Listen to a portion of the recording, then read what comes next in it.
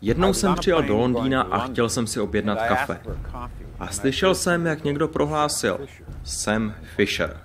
A já na to, cože? Pak jsem se otočil a nade mnou stojí člověk v obleku a ptá se, vy jste Sam Fisher? A já, ne, ne, já jsem, no vlastně ano, to jsem já. Jmenuji se Sam Fisher. Býval jsem hrdinou, ale teď je ze mě zločinec. Jsem dvojitý agent. Geneze sama Fishera je zajímavá. V prvních dvou dílech měl hodně lehkou ruku na spoušti.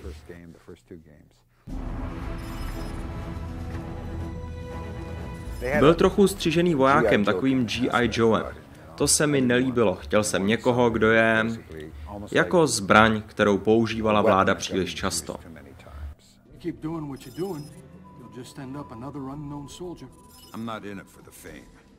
I wanted that kind of Sam Fisher mohl klidně být velmi plochá dvourozměrná mašina na zabíjení, ale hrát s takovou postavou by mě opravdu nebavilo. Nechtěl jsem, aby se z něj stalo nějaké kliše.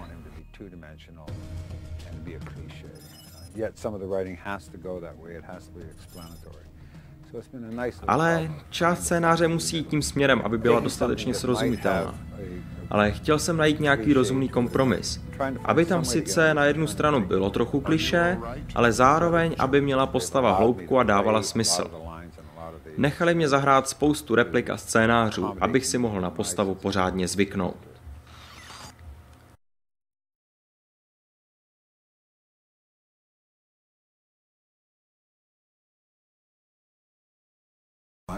Jmenuji se Sam Fisher.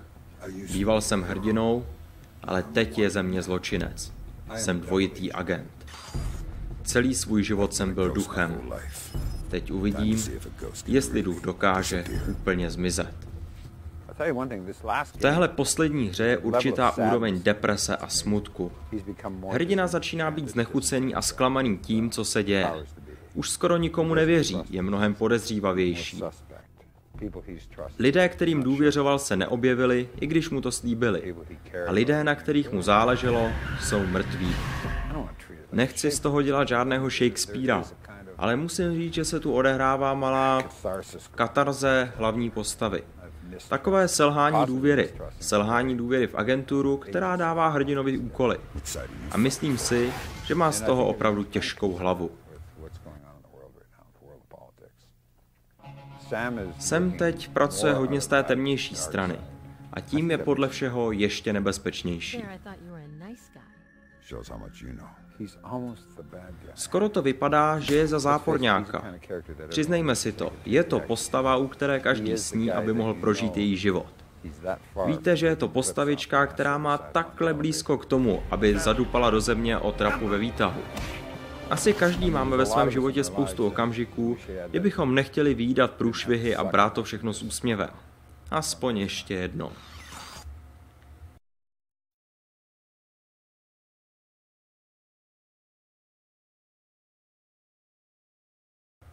Jmenuji se Sam Fisher. Býval jsem hrdinou, ale teď je ze mě zločinec. Jsem dvojitý agent. Hráči se rekrutují ze všech společenských vrstev. Najdete je v saloncích první třídy, najdete je i na skateboardech. A mám zkušenost, že jsou hráči mnohem lépe informovaní, hlavně hráči internetových her, které se hrají online, než kdokoliv jiný, koho jsem na světě potkal. Loni jsem byl na E3 a přišel ke mně jeden kluk, který hrál to ráno Splinter Cell proti ženě v Johannesburgu a dalšímu klukovi z Pakistánu. A ta holka z Johannesburgu se zeptala toho člověka z Pakistánu na nepokoje ohledně jídla, protože to četla na internetu a viděla v CNN. A on na to, že to žádné nepokoje nejsou, že to je jenom představa médií. Takže hráči mají mnohem lepší informace, než které dostávají normální lidé od CNN.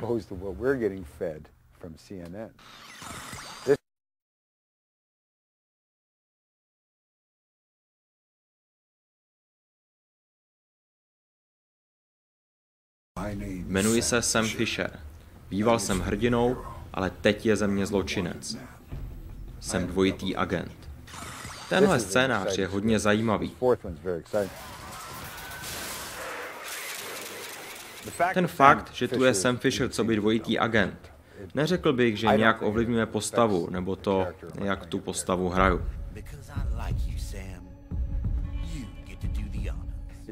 Pořád je to při starém. Pořád jde za tím, o čem je přesvědčený, že je správné. Ty šokující události, které se staly, měly na postavu samozřejmě velký emocionální vliv a v tom je právě klíč. Jsou tu věci, které ještě postava nemusela nikdy zvládat. Naprosto šokující věci. Tentokrát je scénář mnohem bohatší na emoce. Nemyslím si, že by někoho zklamal.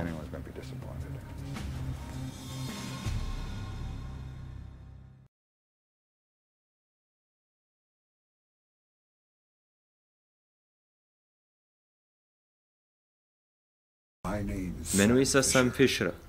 Býval jsem hrdinou, ale teď je ze mě zločinec. Jsem dvojitý agent. Sorry, kámo, někdy to prostě bolí. Poslední léta jsem nedělal moc dubbingu. Mnohem radši na něco reaguji, až jsem s ostatními herci. První dvě hry byly takové průkopnické období, když jsem viděl práci, kterou jsem natočil ve studiu s provozněnou ve hře. Lambert, do you really think I need these two nannies? I'm a big boy, you know. Musel jsem si vybudovat důvěru u lidí z Ubisoftu a všech techniků, protože když jsem hrál nějaké totální kliše ve stylu Ty jsi ale parchant, proč jsi mi to udělal? Tak jsem nechtěl, aby bylo zneužité na jiném místě hry. Nakonec jsme došli ke schodě. Teď to funguje tak, že přijdu do studia a po nějakých pěti zkouškách se ten pravý hlas tak nějak vynoří. Kdybych se měl snažit vysvětlit, jak se na nahrávání připravuji, asi bych vás unudil k smrti. Většinou totiž hraju mimo kameru, víc než na kameru. Připravím si celou postavu na něčem, čemu říká můj režisér Binky, neboli virtuální pláštěnka, kterou v práci dám přes postavy. A Binky zvládne cokoliv. Binky může klidně vtípkovat ze štábem, ale když se zapne kamera, tak Binky zmizí a ukáže se postava. Tohle je ta opravdová práce, kterou si musím chránit, protože je nesmírně vyčerpávající takhle mluvit celý den. A když se neukáže, mám naštěstí trénink. Jaký je tu rozdíl v tom, jak se připravuji na videohru a jak na film? No, když hodíte na slavného pálkaře míč, tak se většinou trefí, ať už má v ruce pálku nebo klace. Ať je to ve filmu, v divadle nebo ve videohře, scénář je jako sklo od lampy. Prostě je tam a bude fungovat. A já jsem jako to světlo pod sklem, které pomáhá scénáristům a lidem, kteří dávají hru dohromady. Oni si vyberou, jakou to sklo bude mít barvu. O tom je práce na scénáři do hry. Moje práce je udělat postavu co možná nejvěrohodnější a nejzajímavější.